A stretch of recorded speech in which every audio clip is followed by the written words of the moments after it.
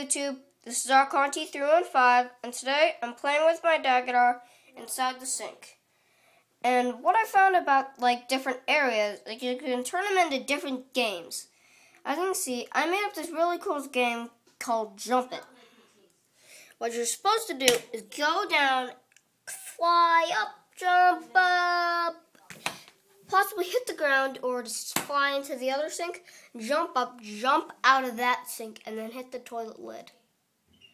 As you can see, that may be very disgusting, but it's the lid, not the real toilet. And as you can see, I've done this before with the tube, so it's sort of like Scores on Raceway, except for inside six, and it's like you don't even have like this big downfall. You just push it down, watch it go.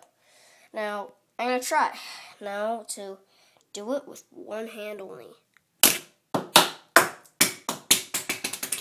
As you can see, it bounced, bounced, bounced, bounced, and then it landed into the 50 score zone.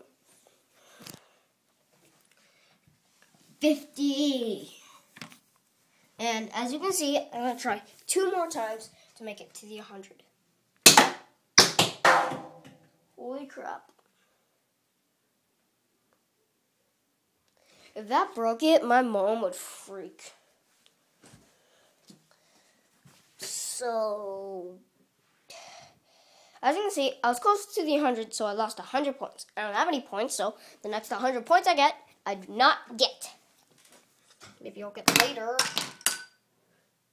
Sink knockover, minus 100, minus 25. So now I'm down 125. Now this is big news. So this is the last time I have to get 125. 25. I have 100 left over. So, as you can see, I lost.